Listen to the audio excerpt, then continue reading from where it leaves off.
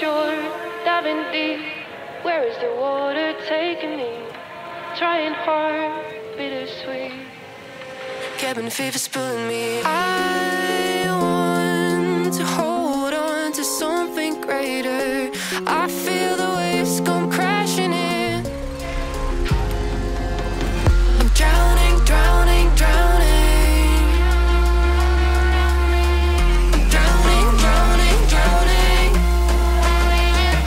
Siap-siap, Fortuner dan Pajero Sport akan dijual murah.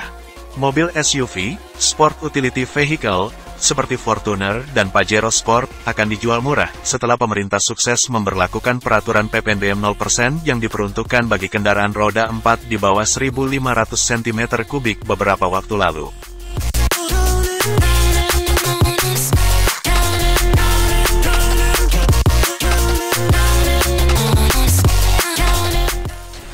Jumpa lagi sahabat Kardua, suatu kehormatan bisa menemani kalian semua. Semoga semua sehat selalu, ikuti terus channel ini dan jangan lupa subscribe, like dan tinggalkan komentar dan saran agar kami terus bersemangat.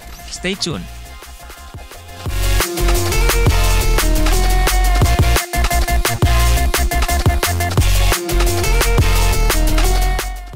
Rencananya kebijakan ini akan diperluas untuk mobil-mobil SUV.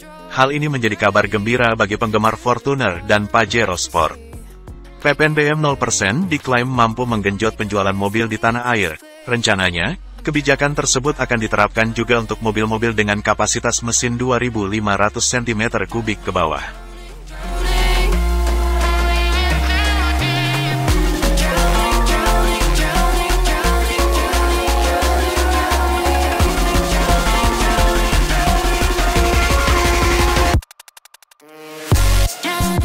Menurut Menteri Perindustrian, Agus Gumiwang Kartasasmita, mengungkapkan perluasan kebijakan itu atas kehendak dan perintah dari orang nomor satu di Indonesia, Presiden Jokowi. Diberlakukannya peraturan tersebut, diklaim guna kendaraan roda 4 dengan mesin 2.500 cm3 juga diharapkan bisa mendapat insentif pajak selama pandemi merebak ke seluruh dunia.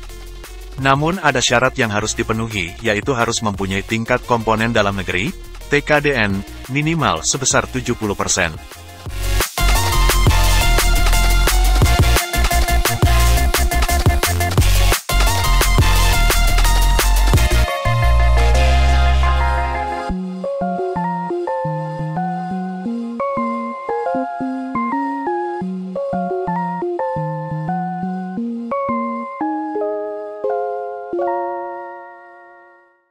Formulasi perluasan dan pendalaman akan didasari oleh kenaikan tingkat kapasitas silinder kendaraan dikombinasikan dengan local per case, atau hanya didasari local per case, dan kemungkinan perubahan time frame-nya, kata Agus dalam sebuah pernyataan. Kami akan segera berkoordinasi dengan Kementerian Keuangan. Beberapa waktu lalu, Menkes Sri Mulyani sudah menyambut positif adanya insentif yang berupa pemotongan tarif PPNBM untuk kendaraan roda 4 dengan kapasitas mesin 2.500 cm3.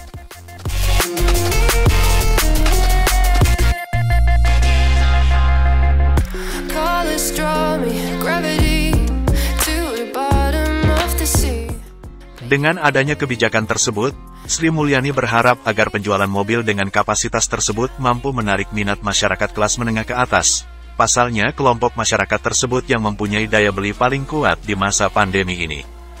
Hal ini diklaim memiliki dampak yang lebih besar dari PPNBM 0% yang diterapkan pada mobil 1.500 cm3. Jika kebijakan ini diterapkan untuk mobil 2.500 cm3, maka mobil-mobil SUV seperti Pajero Sport dan Fortuner akan mendapat pemangkas harga besar. Selain kedua mobil itu, dikabarkan Kijang Innova juga akan mendapat porsi pemangkasan yang sama jika peraturan tersebut diberlakukan.